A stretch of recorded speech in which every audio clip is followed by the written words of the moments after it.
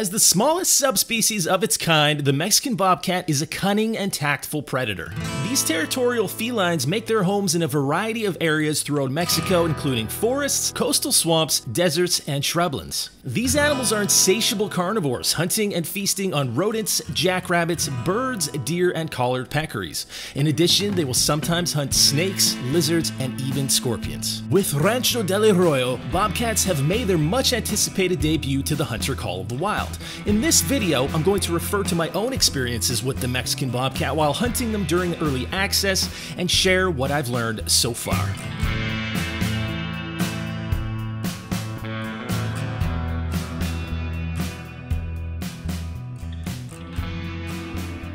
All right, guys, Mexican Bobcats. So I'm going to start to get into just kind of everything that I know about the Bobcats. We're going to talk about loadout. We're going to talk about uh, like what class they are, just kind of all the little bits and pieces. But uh, before I do that, before we jump into it, if you like this video, if it helps you at all, please do drop a like on it. It really does help me a whole bunch. It helps the channel.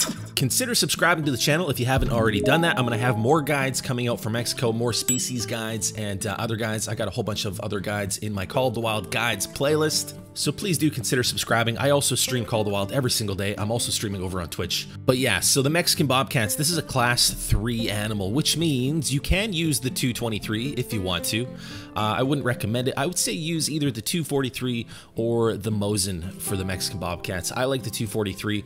The Mosin is also a very good option. Their drink time is between 4 and 7.30. You're going to have some zones that go from 4 until 7. You're going to have other zones that go from 4.30 until 7.30. What I usually do is I set the time for around 5 because that's when it's getting light out. And then I'll hunt until about 7, 7.30 and then wind the time back. We're going to go over where they drink on the map. Uh, basically, they drink on the entire left side of the map. And if you could draw a line down the map right through here, pretty much you've got them drinking on the left side of that line. So basically, the desert biome of the map is where you're going to find the bobcats drinking. They'll also be feeding and resting throughout there in their feeding and uh, rest times as well. But I like to hunt them during the time when they're drinking. I'm going to go over uh, a few of my favorite spots where they hunt. I'm also going to bring up a hotspot map that I've put together for you guys right now. I'll throw it up on the screen. If you want this map for yourself, you can download it for free from my Discord. You can also join the Discord completely for free as long as you're at least 13 years old uh, according to their terms of service. You got to be at least 13. But yeah, feel free to join up on the Discord. You can download this map. I've got a bunch of other hotspot maps as well. And yeah, so let's just jump straight into it. We're going to check out a couple of my favorite spots and we'll talk more about the Bobcats as we go along here. So like I said, I'm going to change the time to about 5. 507 will work just fine. That's basically, this is the time when it's starting to get light out. The sun is just starting to come out right about 5 o'clock. And if I do it this way, I don't have to use the night vision. Uh, if you want to start at, you know, 4.15 or something, use the night vision for an hour for the first hour of the hunt. That's an option too.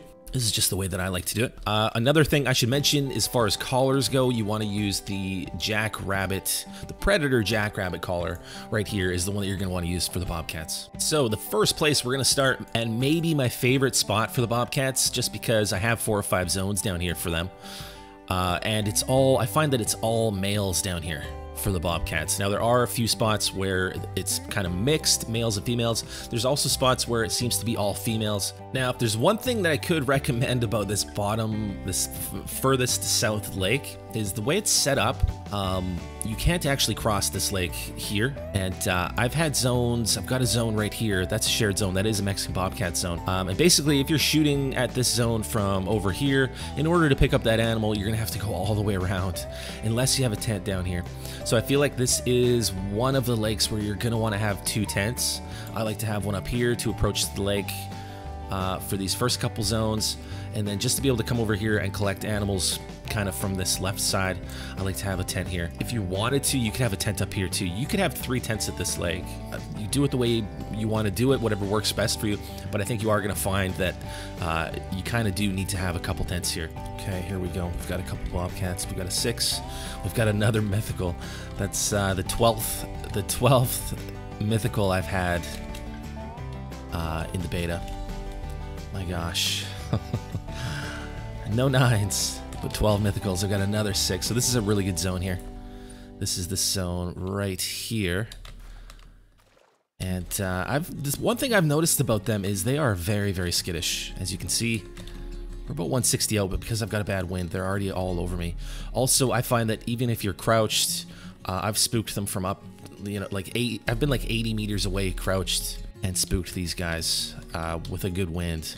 So we've got a brown one. It looks like we got a brown, a red, or maybe two browns, and I think a 10. It's kind of hard to tell because it's so early.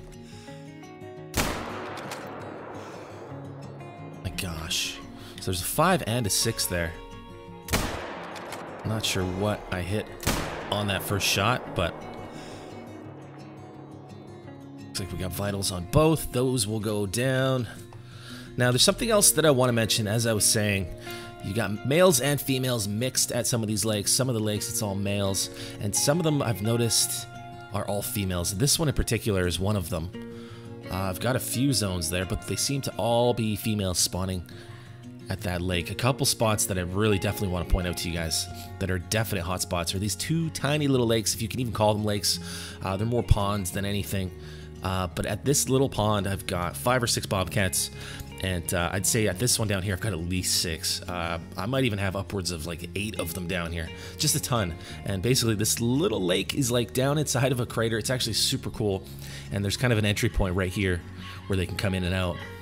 But um, this is really cool. I'll go down there and show you guys how I've been doing this. But I've got a tent just 200 meters from this one. And then I got another tent just to make it quicker, 200 meters uh, away from this lake as well. All right, so we got a five and a six. We got two more males down. I think these are both common. So that's the common fur variation. That's the five, and then that's the six. These are both commons. Now, we should talk about fur variations. Now, I know of a few so far. I don't know anything about the rare fur types. I haven't heard anything, and I haven't seen any. Uh, but what we do know is there is a blue fur variation. That is uncommon.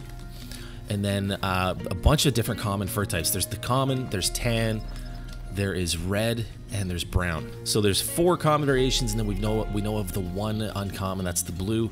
Uh, as far as rares, I haven't heard anything about anybody getting any rares uh, during the creator beta. Um, I don't know if there's. I'm hoping there's albino and melanistic. Maybe there's piebald, but I haven't seen any screenshots. I haven't heard of anybody finding any rares just yet. We've got a coyote out there. All right, let's move on to here. I want to show you guys these two little uh, hotspots that I have at these two tiny little ponds. Alright, so as I get to about 50 meters away, I'll just start glassing through the bushes here. And we already have a 7. Up there, he's calm. So he's about 75 meters away, but you'll see as I get closer, as I get to within about 50, yeah, he's got no idea. He's traveling, but we should have four or five more of them in there. Uh, this at this lake, it's been a mix of males and females. Uh, and same with down here, mostly females, but I've had a couple males in there. And then like five or so females. It's pretty crazy how many bobcats I've seen down in that little crater at that lake. I don't know if it's going to be like that every time, but as far as in my in the beta on my map, I've had a lot of bobcats down there. Yo, here we go.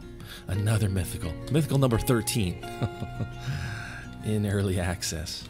Just crazy. There's a lot of mythicals. I don't know if it's just me or if it's like a mountain lion situation where there's a lot of mythicals, but it's the 13th one I've seen in my beta. I've been counting. And another seven and a six. So I've got four, at least four males here at this tiny little pond, which is really awesome. I think I am just, there might be, there might even be more here for all I know, but let's take a couple down. Let's take down that mythical and maybe that's seven if they don't go anywhere.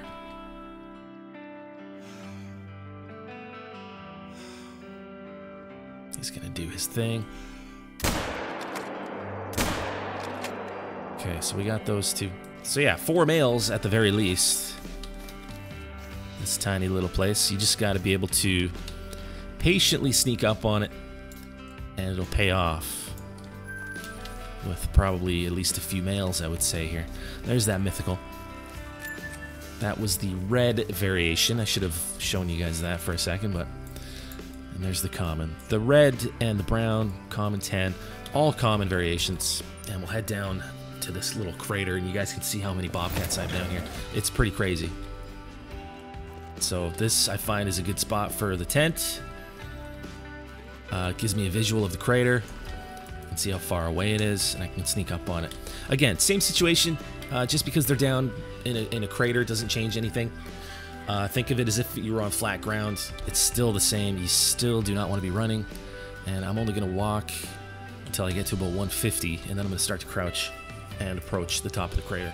All right, we're just about at the top of the crater here right now. I'm hoping they're still here. It's about 7. It's about 7 in game. Let's take a quick look. 702. I'm hoping they're still going to be down here. But uh, this is also a collared peccary zone for me. This is a shared zone. I get them down here as well at both spots, both of these uh, little ponds. And that goes, it's a lot of the Mexican Bobcat spots where you're going to have them drinking. You're going to have javelina as well. It's definitely a thing.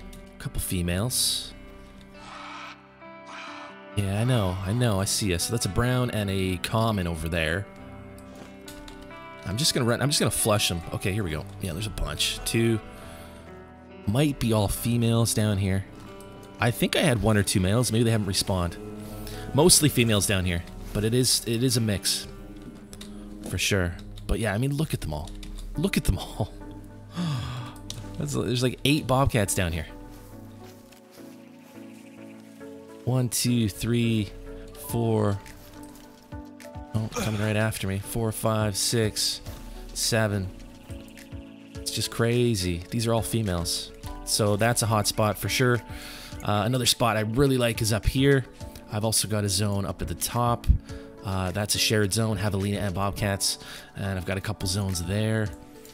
Uh, really love this lake. This is also really good. And, uh, you know, you guys saw the hotspot map. You can download that from Discord again uh, if you want that map. But yeah, that pretty much does it. Showed you guys a few spots. Uh, definitely use that hotspot map. Hunt them between 4 and 7.30.